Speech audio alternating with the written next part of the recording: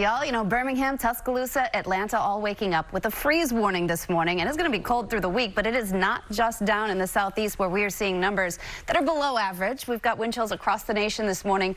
It's cold almost everywhere. Look at Tucson waking up 37, 26 Little Rock. We're going to stay this way going into early next week. This is the 6 to 10 day outlook. So winter is here. Your local weather in just 30 seconds. I told you it was cold this morning as far south as Atlanta. Look at Nashville by Thursday morning. Those are real temperatures, almost 15 degrees below average. So this deep cold has settled in, and there's only one place that you can get warm up, and that is South Florida. So even Miami, a little above average, but you go to the panhandle, and they're five degrees below average still. This is where you need to go if you don't want to have a coat out, okay, Brad? All right. Coming up, Dr. Ashish Jha is joining us. Thank you, Robin. Thanks, and good morning, everybody. You know, we've got three and a half inches of snow that fell in Caribou, Maine, and more to come by this midweek. So we'll be tracking this storm that's going to do all that. Let's begin with our winter weather advisories for this one.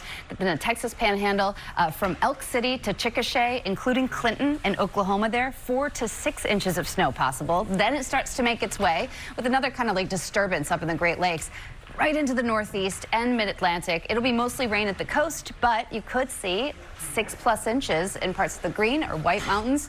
And look at that, up into Maine again. Let's get a check now a little closer to home. Thank you, George. You know, it is a cool morning in Philadelphia, but going to be a hot night on Monday Night Football. The undefeated Eagles trying to stay perfect when they face the Commanders. The action starts tonight at 8 p.m. Eastern on ESPN. And here's the forecast. It's going to be clear. Kickoff temp 38. No rain. Like that. Let's go check now a little closer to home. Hey, we're less than two weeks from one of the busiest shopping days of the year, Black Friday. But we're getting a little jump start this morning. Some holiday deals for the whole family. GMA's lifestyle contributor, Lori Bergamotto. We need this, Lori. We do, and that's right. It's Monday Fun Day here at GMA.